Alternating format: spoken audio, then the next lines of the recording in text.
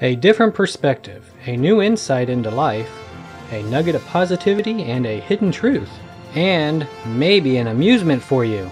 Welcome to From My Standpoint, a twice a month podcast with your host, Josh C. Jones. Hello there. Uh, I appreciate you tuning in again to From My Standpoint. I'm your host, Josh C. Jones. If this is your first time listening, then I thank you for tuning in. And if it's not, well, thank you for coming back. And don't forget that if you prefer to read, I suggest you check out the blog at FromTheirStandpoint.com.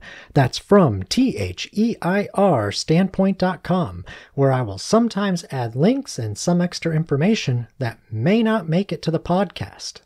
So let's begin this episode with questions. Why not, right? Does your comfort, your luxuries, your quality of life, your fear, do they control or corrupt your personality, your emotions, your character to the point that you have no solid foundation anymore upon which to stand when, when adversity comes knocking at your door? If the political winds can blow upon your sails and change the direction in which you face and go, then your foundation is not anchored. It is malleable. It is inconsistent. And this will show in your personality. Your character will be the chameleon with which your children and the next generation might very well emulate, because it is what you have chosen to allow, to cultivate. I like that. I want to say that again. And yes, I wrote that. Yay, go me. Your character will be the chameleon with which your children and the next generation might very well emulate, because it is what you have chosen to allow to cultivate. By not having a solid, firm, absolute, immovable foundation for your life, that is what I think greatly helps cause the floods of chaos, confusion, hopelessness, negativity, evil, and hate to sweep your feet out from under you and carry you to a life of self justifications, rationalizations, and deerism. As my mom, Judy B. Jones, is quoted in my book, Volume 1 The Foundation to Your Success. Yep, quote by Judy B. Jones. You need to have a foundation in order to start anything. In today's climate, having a solid foundation on which to stand is vital to survive the adversity of the storm. As I also say in my book, uh, Volume 1, The Foundation to Your Success, quote, Our foundation is the soil in which all we do and achieve and pass on to the next generation is planted, grown, and harvested. End quote. I may be wise with a quote like that. Oh, full confession, though, since I do want to be honest on here and clear, when I do say that that I am wise, I am being biased toward myself, obviously. But this is backed up a lot. Now, I am going to use a story here to help explain some things, because, well, we like stories, and stories really do help get points across because it, it explains a lot of things that we are going through in our world, in our nation, communities today, uh, at least when this was recorded. And this story is from the Bible, but I do believe it is universal and can be viewed to help all of us. Now, in 1 Kings chapter 20, we see the king of Israel, King Ahab, quickly and easily give in to the demands of the king of Syria, Be- King Benhadad. Benhadad mustered all his forces in Syria and 32 other kings.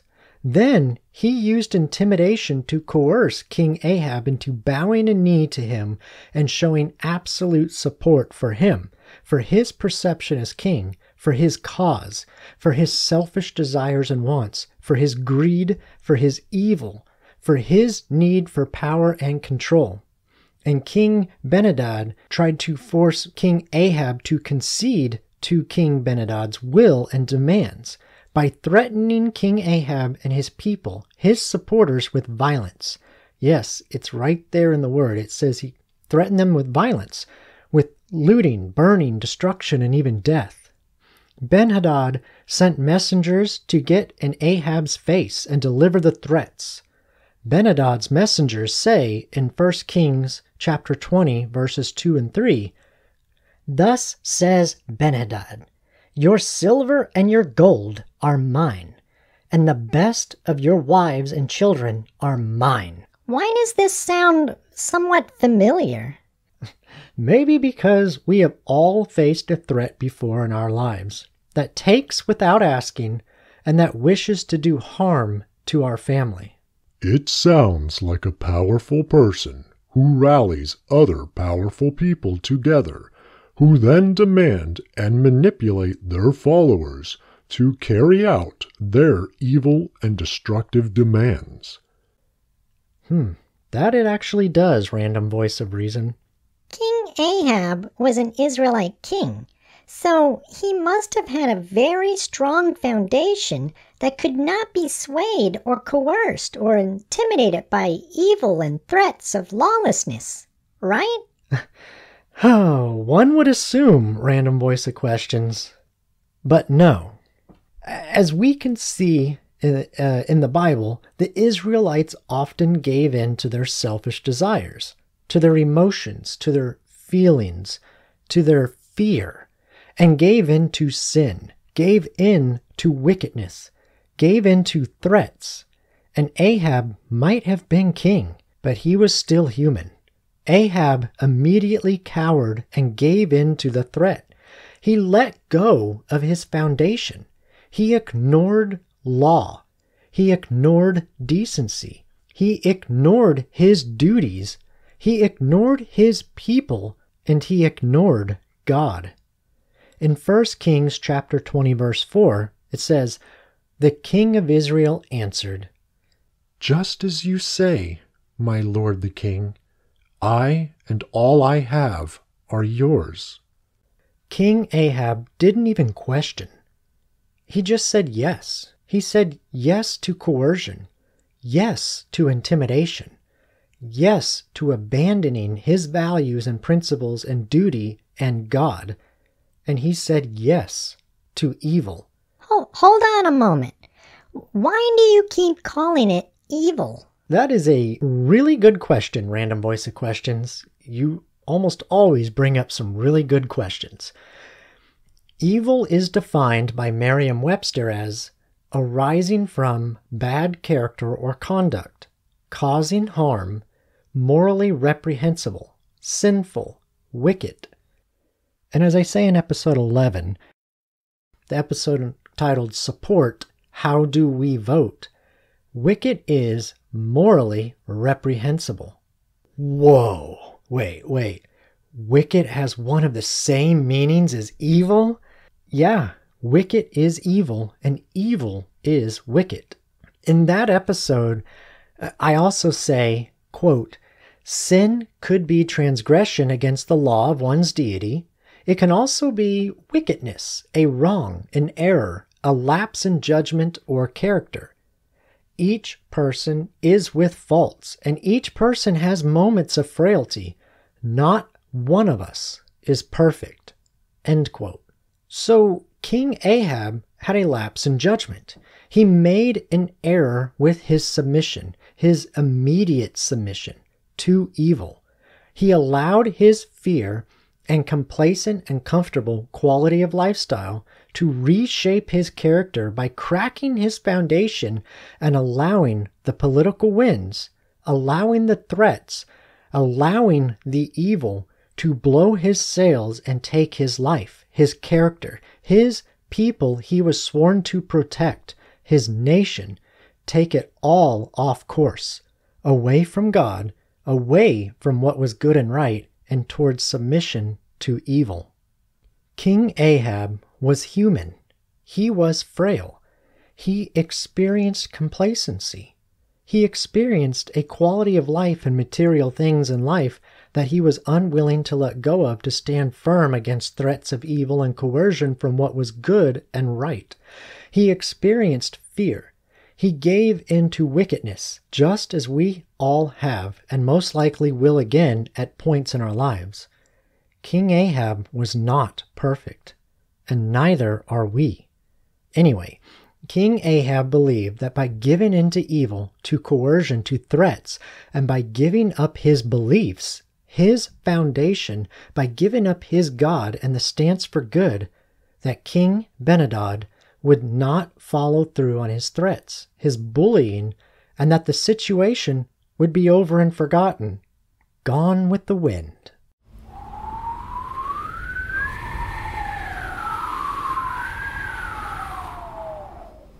But as Winston Churchill once said, quote, An appeaser is one who feeds a crocodile, hoping it will eat him last. End quote. Man, that is a really good quote. I'm going to say that again. An appeaser is one who feeds a crocodile, hoping it will eat him last. And that is exactly what King Ahab did.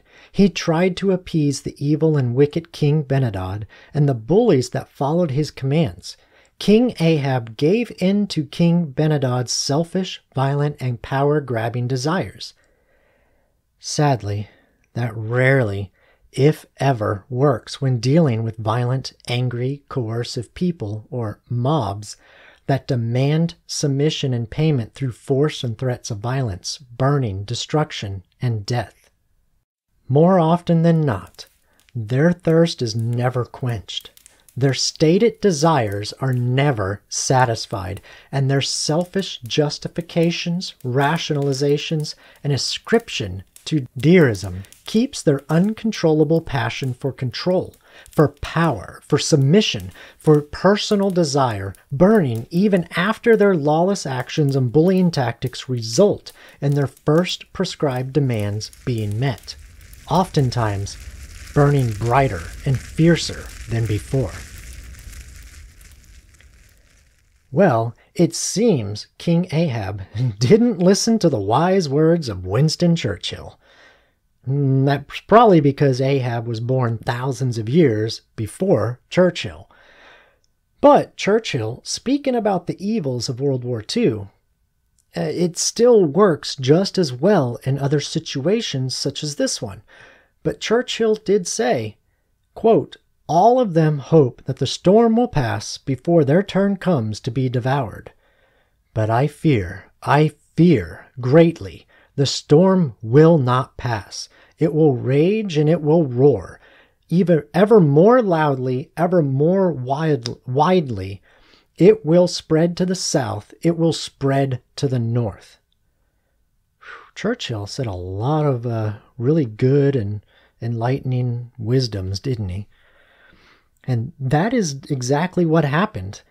King Benadad, after hearing of King Ahab's quick submission and removal of his own foundation, sent his messengers back to King Ahab with further demands. King Benadad moved the goalpost. He, as well as is attributed to John Heywood, I believe, this old idiom, uh, give them an inch and they will take a mile. And that is exactly what King Benadad was doing. King Ahab gave King Benadad an inch when he immediately caved on his own foundation and gave up good. That which he was commissioned to protect, gave it up for a false promise of temporary security from evil, the same evil that was giving the threats. And evil, King Benadad immediately went for the mile. In 1 Kings chapter 20, verses 5 through 6, King Benadad sent his messengers back to King Ahab, saying, Thus says Benadad, I sent to you, saying, Deliver to me your silver and your gold, your wives and your children. Nevertheless, I will send my servants to you tomorrow about this time, and they shall search your houses and the houses of your servants, and lay hands on whatever pleases you and take it away. King Benadad's inch was theft of all of King Ahab's and his people's money, their wealth, and their surrendering of his family, his wives and children. This sounds kind of familiar too. Why is that? because uh, we have all experienced the intimidation, the bullying, the wickedness of those who would desire to steal from another and to make submissive servants. That is, slaves, if you will, of others, random voice of questions. But King Benadad's mile then became the breaking and entering into all their homes, into the king's palace, to steal and loot all that was precious, all that had value, all that he and his people were willing to give into wickedness and do evil, to beat and kill people for. Now, this one I know is familiar. I just can't place it. Where have I heard or seen this before? That is for you to figure out on your own, random voice of questions. Anyway, after the last demand, King Ahab finally regained his footing on his foundation and found his support. He called upon the elders, that is, the wisest of them, and asked for the input, you know, for help, for their wisdom. In 1 Kings chapter 20 verse 7, he said, Mark now and see how this man is seeking trouble, for he sent to me for my wives and my children, and for my silver and my gold, and I did not refuse him. King Ahab is realizing his mistake, his moment of frailty, and seeking wise counsel on how to remedy this and how to proceed further. He sought wise counsel after giving in to bullying, to threats and coercion, but before that mistake could be fully enacted by the aggressor, by King Benadad. They answered him in 1 Kings chapter 20 verse 8 by saying, "Do not listen or consent." Those are wise words. Do not be an appeaser to wickedness, to evil. Do not listen to the threats of the enemy when he speaks of harm, of violence, of destruction, of theft, of looting, of murder. Do not consent to the enemy by kneeling before him and sacrificing your foundation for that of the winds. If King Ahab gave King Benadad the mile, then they knew that the sovereignty of their land would be no more. King Benadad would not stop at that mile. He would take it all. King Ahab tells King Benadad's servants to relay this message in 1 Kings chapter 20 verse 9. He says, Tell my lord the king, all that you first demanded of your servant I will do. But this thing I cannot do. King Benadad's response in 1 Kings chapter 20 verse 10 was, the gods do so to me, and more also, if the dust of Samaria shall suffice for the hands for all the people who follow me. You can give into portions of an angry mob, to evil, to your oppressors, to thugs, but if you even deny them one thing, they will punish you severely. For complete suppression and submission is the ultimate end goal, not the first inch or even the first mile. That was actually really well said, Random Voice of Reason. Thank you. Now back to the story here. In 1 Kings chapter 20 verse 11, King Ahab boldly replied, Tell him, let not him who straps on his armor boast himself as he who takes it off. What does that mean? Well, random voice of questions, from what I can understand and from what my research has shown, this was King Ahab's wisdom to King Benadad. It was also a bold speech showing that King Ahab would no longer be bullied or coerced or threatened unlawfully anymore. Oh, okay. So now that King Ahab told King Benadad that he would not cower or cave or kneel before his suppression any more. What did King Benadad do? King Benadad did what all wicked, evil, hate filled mobs and tyrants do. Random voice of questions. He set up for attack. he set up to begin his war against those he was trying to oppress. However, the Lord was with King Ahab. Even though King Ahab faltered and succumbed to the fear instilled by the enemy, he repented. He sought wise counsel, he got back on the right path, and he stood firm in his foundation. We will all falter and give in to sin, to wickedness sometimes, but even when we do, we still have a choice. We can continue down that path of violence, of wickedness, of destruction, of hopelessness and evil, or we can repent. We can turn from that path of destruction and turn back to hope, to peace, to love, to tolerance, to forgiveness. We can turn back to the good path. King Benadad did not follow the wisdom of King Ahab. No, not about boasting, as he was drinking on the battlefield the day of the battle. That was dumb. What happened next?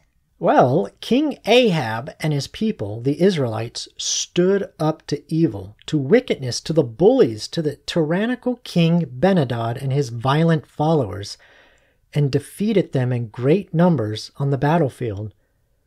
That was what happened next, Random Voice of Questions.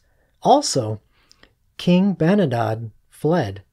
Wickedness and evil were defeated. They did not receive their complete and utter submission or power they demanded and desired. They did not receive their mile of robbery and looting and theft.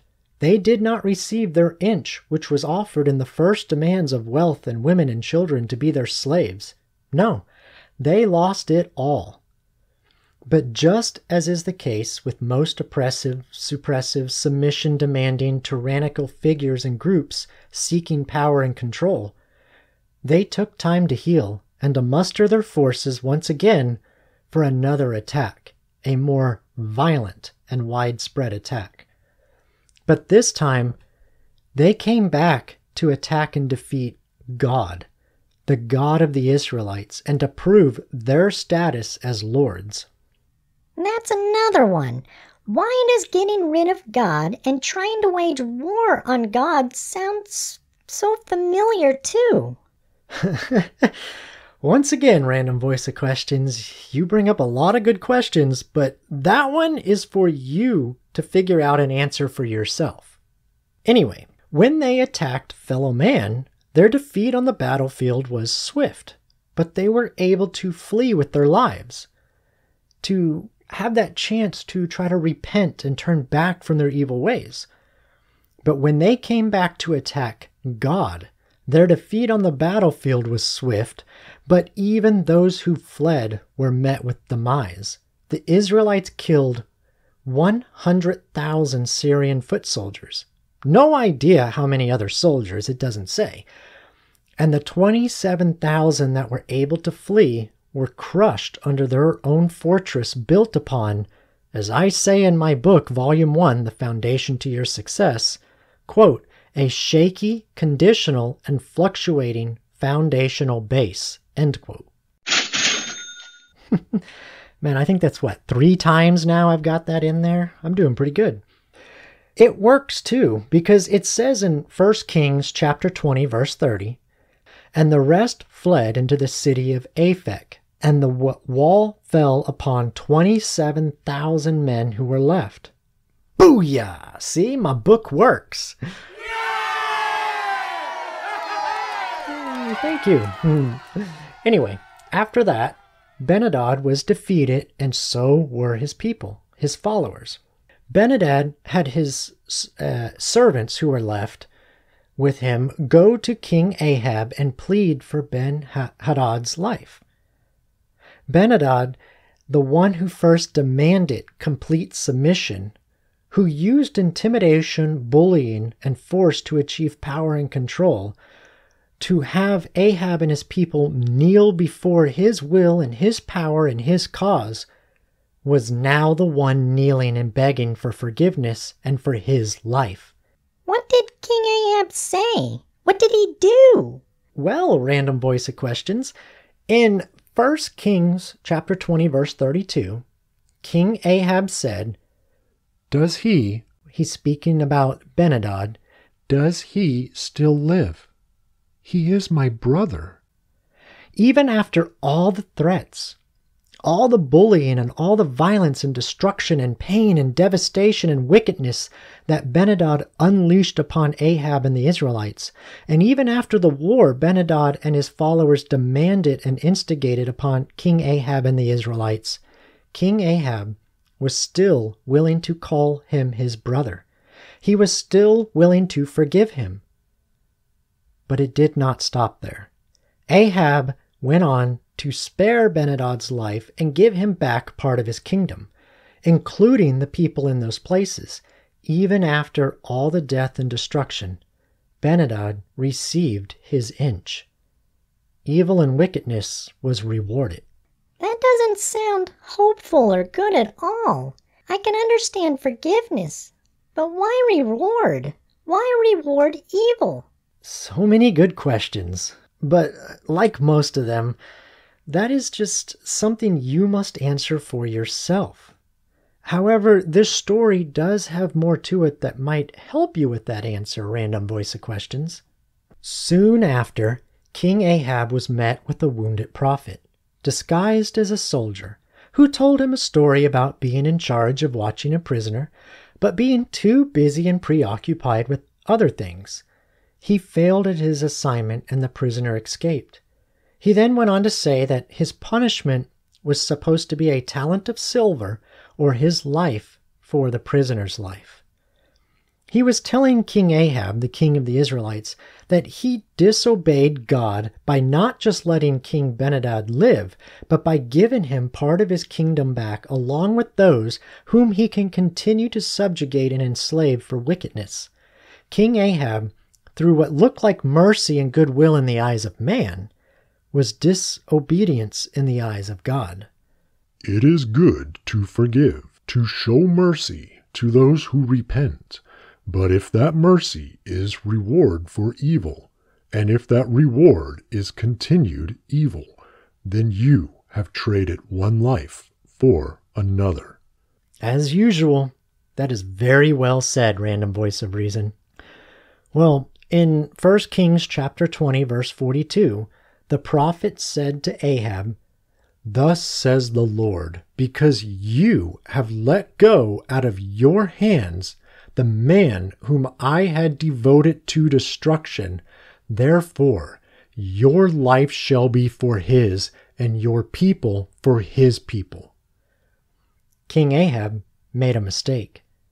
He showed his frailty by giving into fear and comfort and giving into submission to oppression to bullying, to wickedness, to evil. He then repented of his mistake. He sought wise counsel, he regained his footing on the right path, and he stood firm on his foundation. And because of that, the Lord blessed him with his and his people and took care of them.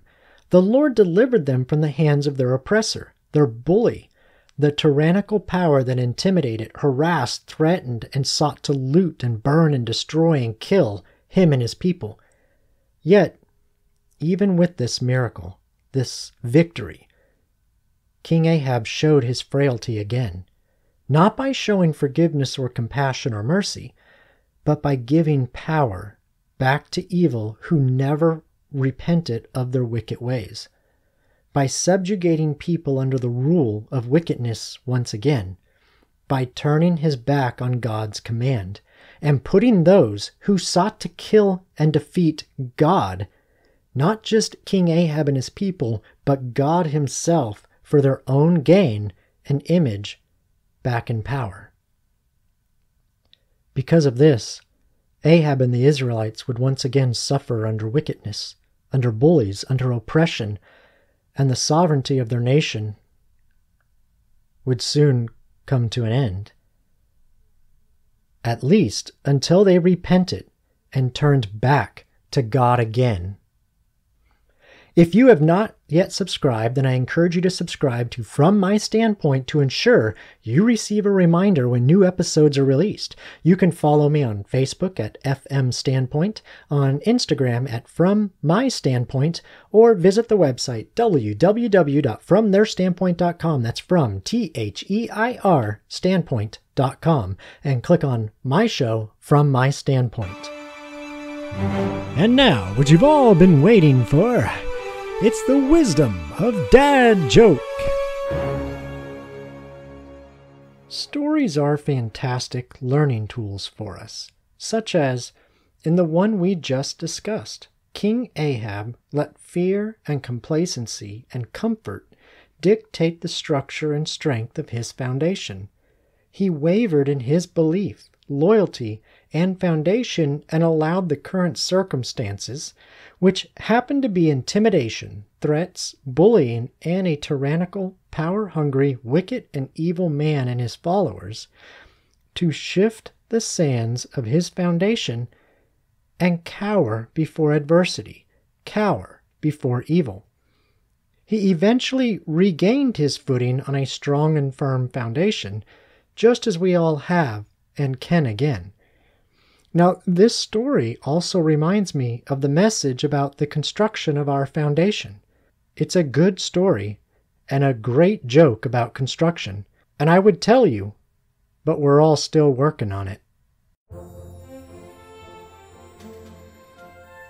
This has been From My Standpoint, a podcast to find a nugget of positivity and a hidden truth, encouraging and enlightening insight entertaining a new perspective, and providing an amusement for you. We hope you were entertained, encouraged, enlightened, and enjoyed the show.